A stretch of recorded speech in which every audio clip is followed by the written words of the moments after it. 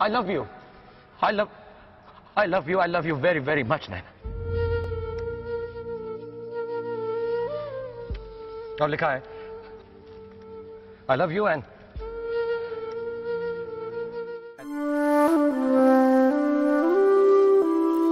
Will you be my valentine? Hili ni swali ambalo mimi ninaamini wala hata si geni masikioni pako. Yamkini umewahi kuuliza au kuulizwa na yule ambaye wewe na yeye mnasema mnapendana kwa dhati. Leo tarehe kumi na nne ya mwezi wa pili husemwa kuwa ni siku ya wapendanao duniani kote, upendo ambao ni fumbo kubwa lenye kuhusu tabia na imani zilizoambatana na hisia nzito za kulinda, kuvutiwa au hata kuheshimu moyo wa huyo ambaye wewe na yeye mnasema mnapendana kwa dhati. Tulio wengi ni wapenzi wa movies. Ni matumaini yangu umewahi kumsikia jamaa anaitwa Leonardo DiCaprio. Kama hujawahi kumsikia, basi huyu ni Jackie wa Rose katika filamu ya Titanic.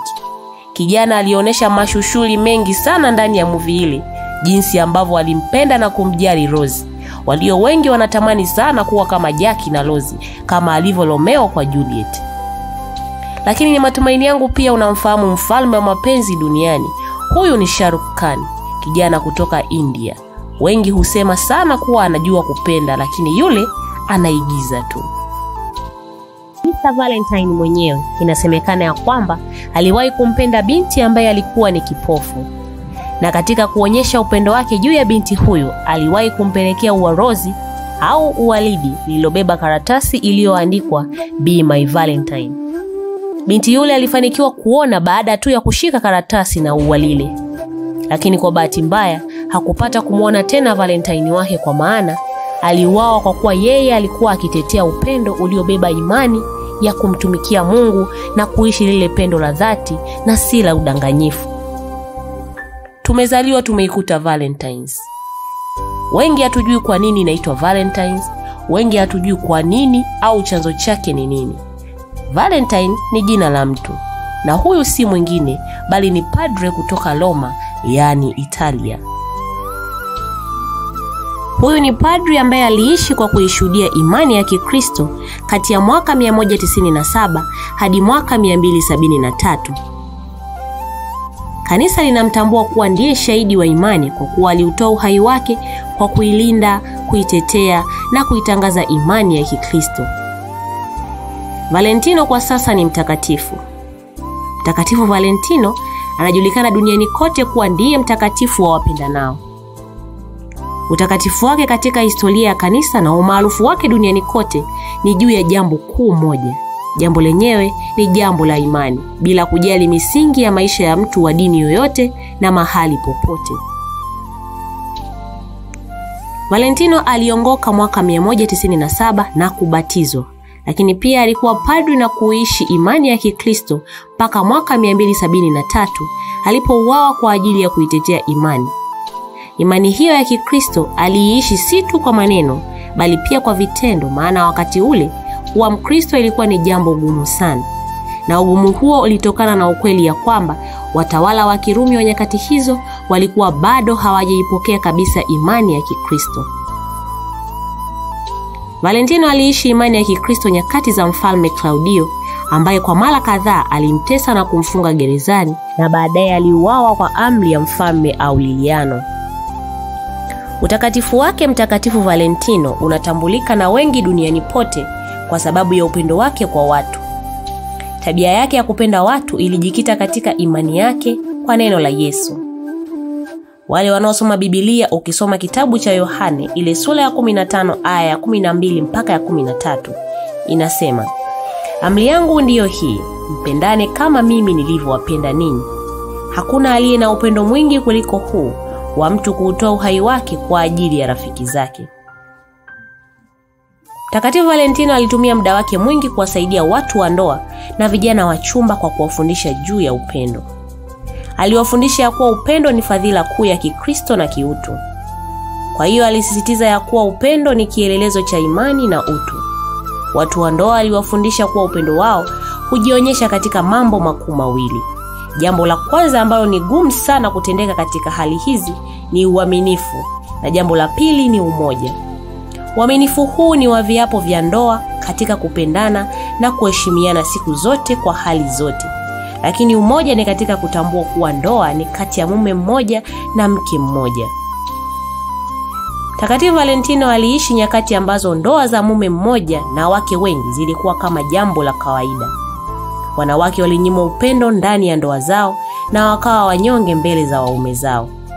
Yeye alikemea jambo hilo bila kujali mtu yoyote. Watawala wa wakati huo walikuwa na tabia hiyo ya kukosa uaminifu ndani ya ndoa zao. Kwa msaada wa Mwenyezi Mungu, watu wengi walianza kujirekebisha na upendo ukaanza kurudi ndani ya ndoa zao. Lakini Mfalme Klaudio alichukizwa sana na Valentino na akamfunga gerezani. Valentino aliwafundisha wachumba kuwa upendo wa kweli ni wa wapendanao kujidhihirisha katika kufunga ndoa mbele ya Mwenyezi Mungu. Hivyo basi, alikemea bila uoga vijana wengi waliokuwa wanaishi maisha ya unyumba. Vijana wengi waliongoka na kufunga ndoa takatifu kanisani, jambo ambalo lilimkera sana mfalme kuona ya kwamba watu wengi wanaingia katika dini ya Kikristo. Lakini pia Valentino aliwatetea vijana waliokuwa jeshini ambao walikatazwa kwa sheria ya mfalme wala wasifunge ndoa. Sheria hiyo iliwanyima wanajeshi maisha ya ndoa kwa imani ya kuwa askari hodali hawatakiwi kuishi maisha ya ndoa. Mtakatifu Valentino alipigania haki ya hawa askari na kuwataka watawala wabatilishe sheria hiyo potofu. Katika kuwasaidia watu watambue utakatifu wa ndoa, Mtakatifu Valentino alifanikiwa kuwafungisha ndoa wachumba wawili, mmoja Mkristo na mwingine alikuwa mpagani, ambao wazazi wao walikuwa wamewekewa vikwazo. Wa mchumba wa kike alikuwa ni Mkristo lakini pia alikuwa ni mgonjwa, na yule wa kiume alikuwa mpagani lakini pia alikuwa ni askari.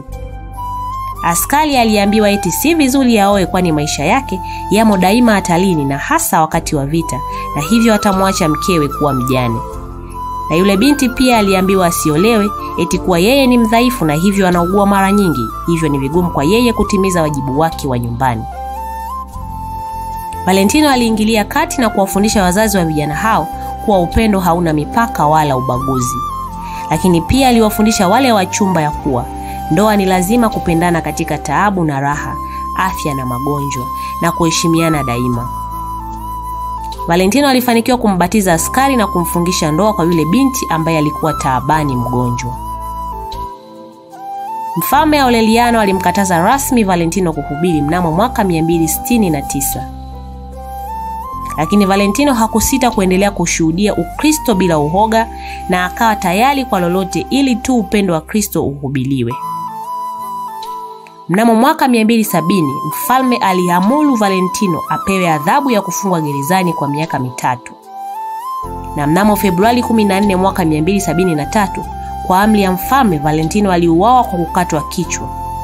Hukumu hiyo ikiwa ni sababu ya kuwa Mtakatifu Valentino alibatiza watu wengi na kufungisha ndoa takatifu ya mume mmoja na mke mmoja ambao alitakiwa kudumu katika uaminifu, upendo na umoja. Katika miaka mitatu aliyofungwa gerezani kabla ya kukatwa kwake kichwa, Valentino alifaulu kumhubilia mkuu wa gereza na kumwongoa. Lakini pia binti mmoja wa mkuu wa gereza ambaye alikuwa kipofu alifanyiwa miujiza na Mtakatifu Valentino naye akapata kuona. Mkuu wa gereza alibatizwa yeye na familia yake na akafunga ndoa takatifu. Tarehe 14 Februari mwaka 273, hii ndiyo siku ambayo Valentino aliuawa. Ni tarehe ile ile ambayo mimi na wewe tunasema ni siku ya wapendanao, lakini ikumbukwe siku hiyo ni siku ambayo alikufa mmoja wetu, ili sisi tukubali ya kwamba upendo wa kweli unaonekana. Je, uko tayari kufa kwa ajili ya huyo unayesema ni mpenzi wako wa dhati? Valentino aliwaandikia barua watu wengi aliowafungisha ndoa na akawasii wadumu katika upendo, uaminifu na umoja. Na kila barua aliyoiandika mwishoni iliandikwa maneno yafuatayo: ndimi Valentino wako. Wazungu wanasema it's me your Valentine au I am your Valentine. Maneno hayo yakawa ni kielelezo cha upendo wa Mtakatifu Valentino kwa watu wote, kuwa yeye aliishi na kufa kwa ajili ya kuwapenda watu wote kama Kristo alivyosema, amri yangu ndiyo hii, mpendane kama nilivyowapenda ninyi. Kwa maana hakuna upendo ulio mwingi kuliko huu wa mtu kuutoa uhai wake kwa ajili ya rafiki zake. Will you be there for your Valentine? uko tayari kufa kwa ajili ya valentine wako kitabu cha yohane sura ya 15 aya ya 12 hadi ya 13 kinaelezea sana kuhusu upendo wa kujitoa kwa ajili ya wengine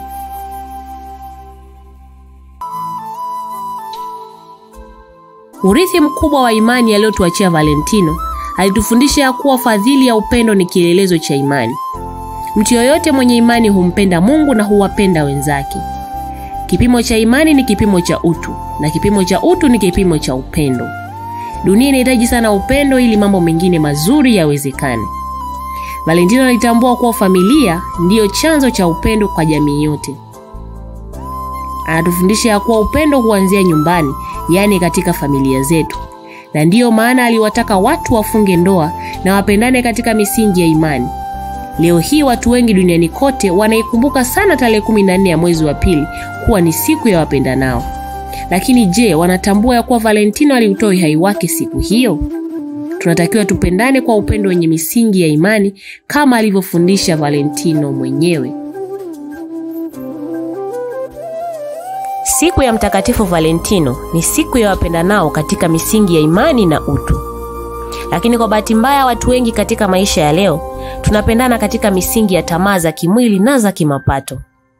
Leo hii kuna watu wengi sana walio katika ndoa lakini pia wana nyumba ndogo. Eti nao utawasikia wanasema leo ni siku ya wapendanao. Ni upendo gani huo wenye nyumba kubwa na nyumba ndogo? Je valentino hakufa kwa ajili ya kupinga jambo hilo vijana wengi leo wanaishi uchumba sugu bila ya kufunga ndoa. Lakini nao utawasikia wanasema eti leo ni siku yao ya wapenda nao. ni upendo gani huo pasipo misingi ya imani? Je valentino hakuutoa uhai wake ili kuwafundisha tu na kuwapigania vijana wafunge ndoa takatifu? Ni ajabu kuwa siku ya mtakatifu valentino uovu mwingi dhidi ya upendo ndiyo hufanyika. Ni vyema siku hii iwe kwa ajili ya kujikumbusha maana halisi ya upendo wakati ule mtakatifu valentino alikwazika sana kuona watu wanaishi bila ya kufunga ndoa. Alikwazika kuona vijana watu wa ndoa kabisa wanakosa uaminifu katika ndoa zao. Na alisikitika kuona hata vijana wanakosa haki za kuishi upendo wa ndoa. Lakini akija leo hii mtakatifu valentino atashindwa hata kushangaa kuona jinsi upendo ulivyogeuzwa kuwa ni starehe ya kimwili badala ya kuwa fadhila ya kimungu na mbaya zaidi atakutana na watu wa jinsia moja yaani ushoga na usagaji. Wanaodai eti na wenyewe wanapendana na wana haki ya kufunga ndoa. Katika siku hii ya mtakatifu valentino tunakumbushwa tena kuwa upendo ni fadhila ya kimungu na siyo starehe ya kimwili. Happy valentines to you all. Tuishi imani ya kikristo au imani ambayo ni ya msingi katika kulilea kulitunza na kulitukuza neno la mungu. Makala hii imeandaliwa na dr mwininga juma na kusomwa kwenu na angela mshelu wa sjf artist. Kwa mambo mengi mazuri kuliko haya usisite kusubscribe kwenye youtube channel yetu inayokwenda kwa jina la sjf artist. Asante na mungu akubariki